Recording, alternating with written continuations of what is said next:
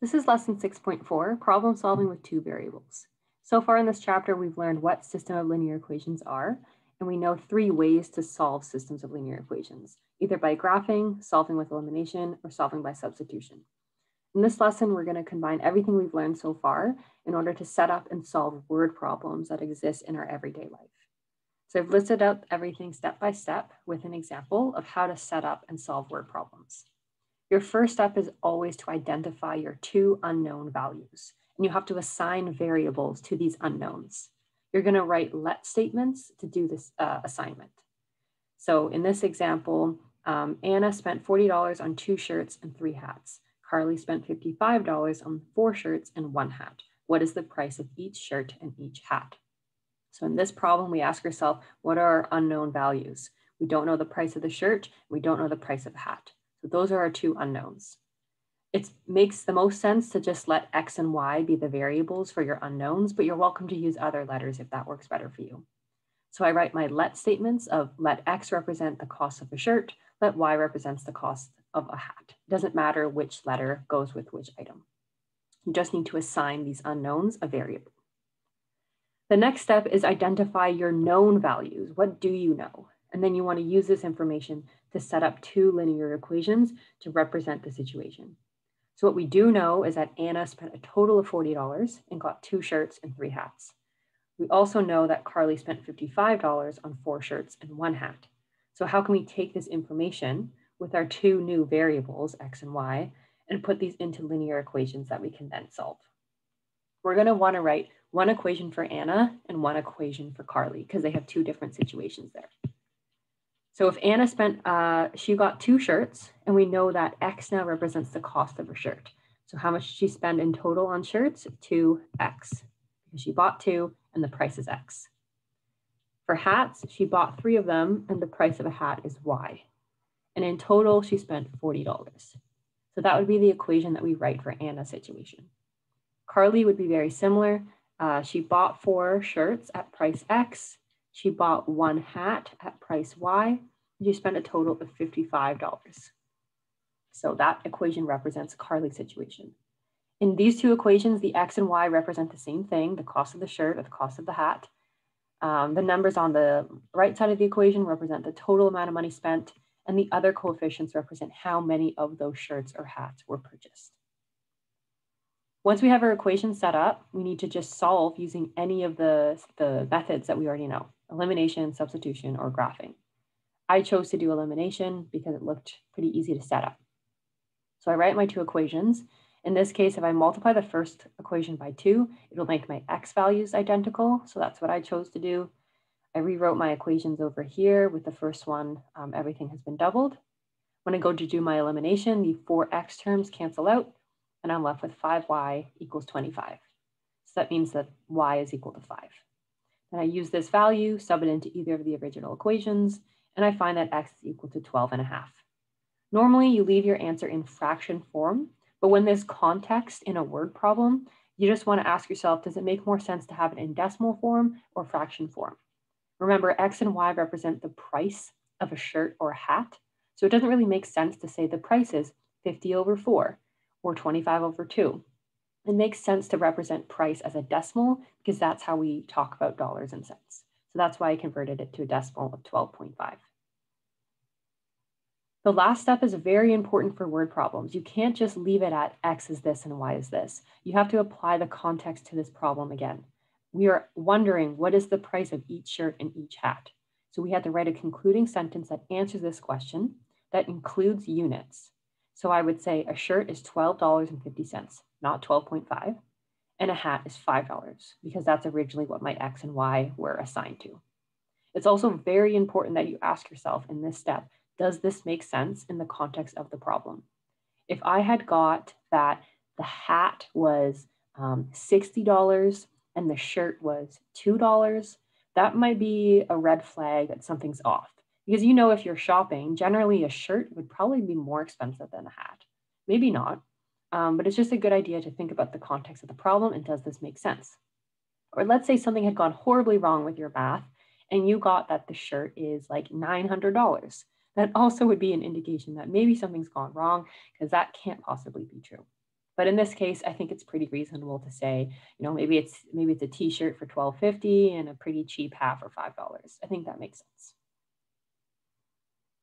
We'll do some more examples to get the hang of it. In this one, um, adult tickets for the school play are $12 and children's tickets are $8. If a theater holds 300 seats and the sold out performance brings in $3,280, how many children and adults attended the play? So our first step is to look at what, what are our unknown values and write let statements to assign variables to these unknowns. So when you're looking for this information, it makes sense to look what where is the question mark and where is the question in this problem? It's asking how many children and adults attended the play. Those are our two unknowns. X can represent the number of adults, Y can represent the number of children. Now we have to set up our two equations. What makes sense based on the information we do know? Well, we know that adult tickets are $12 and children's tickets are $8. We know the total number of seats and the total amount of money made. So I think it makes sense for the first equation to be representing how many seats there were, and the second equation to be associated with the cost or the revenue. So to write an equation for the number of seats is actually quite straightforward. We know that there's 300 seats um, and X and Y represent how many adults and children there were. So that equation is just X plus Y equals 300. The number of adults that went to the show and the number of children that went to the show, that has to add up to be 300 because it was a sold out performance. The second equation has to do with the cost and revenue. So if adult tickets are $12 and we sold X of them, and then you add the cost of children's tickets, uh, $8 times Y, how many children were there, you would get the total amount made of 3,280. So if we knew X and Y, how many of each of these age groups were there, multiplied by the price of their ticket, you should get the total revenue made. Creating the equations is arguably the toughest part of solving word problems with systems. At this point, we're pretty comfortable with doing the math to actually solve them, but setting them up is what can be difficult. Now that we have them set up, I decided to solve by substitution because it was pretty easy to isolate 4x in the first equation. So I took that, I said x is equal to 300 minus y, and I substituted that into the second equation. I distributed the 12 into the brackets, I collected my like terms. I brought 3,600 to the other side and I isolated for y. Then I got y is 80 and I substituted that into either of the original equations and I got that x is 220. So I write a concluding sentence. That means there's 220 adults and 80 children that attended the play. And then you ask yourself, does that make sense? I think that's pretty reasonable for this context and I think we're finished. Here's another type of problem you might see. Um, the difference of two numbers is eight and the sum is 34. What are the two numbers? So it sounds a little bit simpler and the actual algebra to solve this is a lot simpler. But again, you have to be able to set up the equations to represent this. So what are our two unknowns? They're whatever the two numbers are. So let's say X is the first one and Y represents the second number. Now we need to set up our two equations. We do have two uh, known pieces of information. We know that they have a difference of eight and a sum of 34. So to write the difference of eight, to take those words and translate it into a math equation, we would say x minus y equals eight. The difference or the subtraction between the two numbers is eight. And the sum is 34, so same idea, but we'll just say x plus y equals 34. So then I decide to solve by elimination because the x values are already the same. I can go right into eliminating. Those can just disappear. We've got negative 2y equals negative 26. So we solve and get that y is 13. And we take that, sub it into either of the original problem or original equations, we get x is 21. Then you write a concluding sentence. The two numbers are 21 and 13. And you can very quickly check if this is correct. Um, is the difference between these um, 8? Yes, it is. Do these two add to 34? Yes, they do. So we're good. The last one, um, the perimeter of a rectangle is 84 centimeters. The length of the rectangle is eight centimeters longer than the width. What are the dimensions of the rectangle? So again, when we're looking for our unknowns, look for the question mark. What are they actually, actually asking us for? The dimensions. So X can represent the length and Y can represent the width. This is an example where if you want to use L for the length and W for the width, that's fine too. I'm going to keep it simple with my X's and Y's. Now we had to create two equations to represent the situation using the unknowns x and y and the knowns. So one thing we do know is that the perimeter of the rectangle is 84 centimeters. How do we write an equation for this? We know that the perimeter is equal to two times the length plus two times the width because you just add all the side lengths up. And we now know that x and y represent the length and the width.